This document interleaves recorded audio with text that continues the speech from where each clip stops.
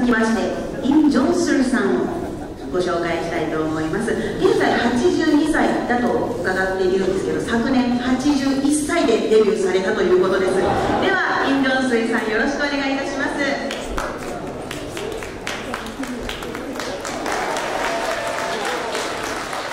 こんにちは。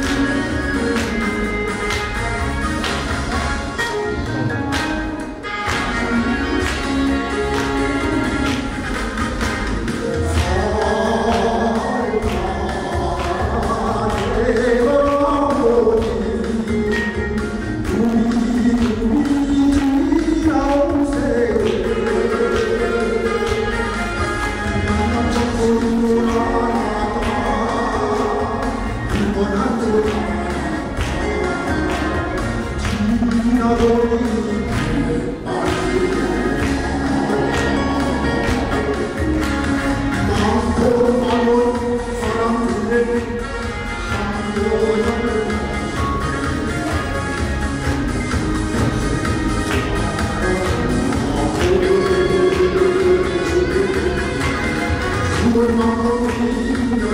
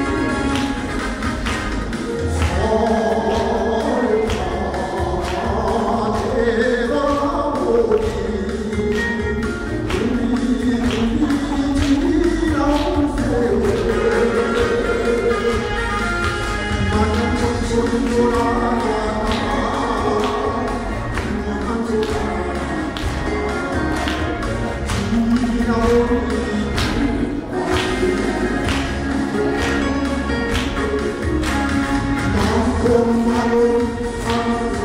you.